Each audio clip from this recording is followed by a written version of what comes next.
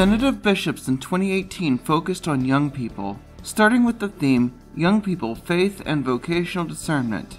The youngsters of the Holy Land set off in preparation for the synodal event. شبيبة هي أمل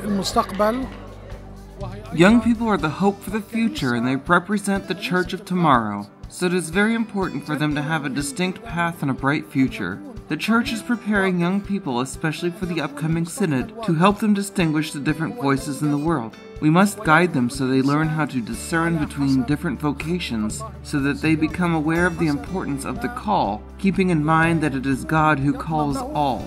مستقبله وما يضمن له حياته وحياة الكنيسة كانوا كتير تحضيرات يعني مش من هلا We prepared for several weeks to be able to choose the meeting events, and each of us had a specific role. It is very important to attend. There are questions whose answers we cannot find.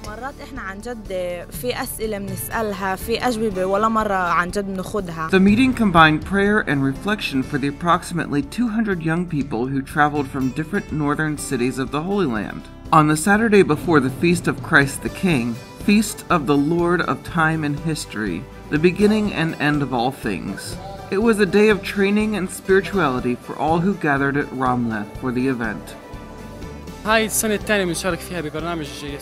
This is the second year I am attending the celebration of the Feast of Christ, King of the Universe. Here we see stories of various vocations by more people. We know their way of life. Here, people meet and become acquainted. 25 of us came from Nazareth. It is so good to join the rest of the young people of the Holy Land and work together so that we can be one.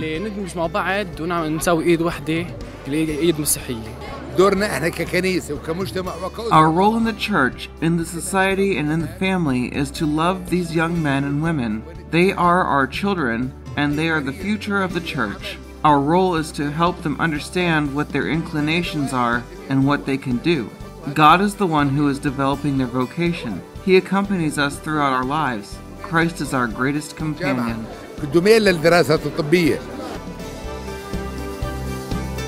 Go from your country, your people, and your father's household to the land I will show you. These words, introduced by the Holy Father in the written letter when presenting the preparatory document, are now also addressed to you. They are the words of a father who invites you to go toward a future that, although unknown, is bearer of safe accomplishments. He is leading you toward that future.